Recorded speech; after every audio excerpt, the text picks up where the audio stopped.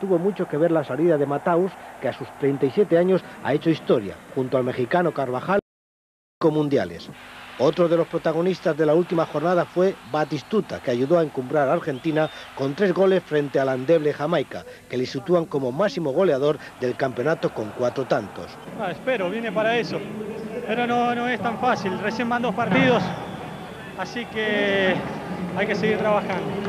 A la fiesta argentina se sumó de forma particular Daniel Ortega. El jugador del Valencia fue el maestro de ceremonias del juego de la selección albiceleste que ahora disputará a Croacia la primera plaza del grupo.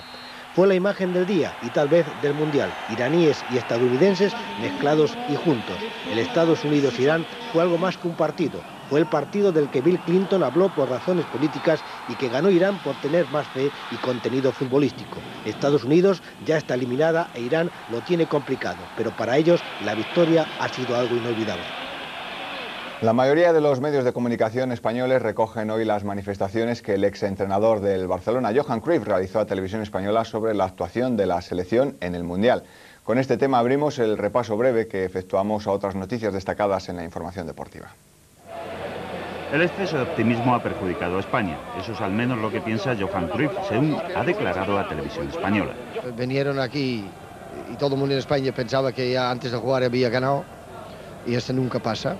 Considera que los jugadores tienen un problema de coco después de la derrota con Nigeria y recuerda que España no suele llegar lejos en los mundiales. Y casi nunca han hecho algo, casi nunca. Por lo tanto, tampoco nos puede decir que alguien está defraudando.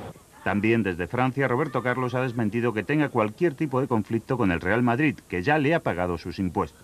No quiero aumentar mi sueldo porque no tengo ninguna necesidad de, más, de querer más de lo que estoy ganando en el Real Madrid y quiero apenas jugar bien. En Galicia, el Deportivo ha presentado a Romero, procede del Mayor.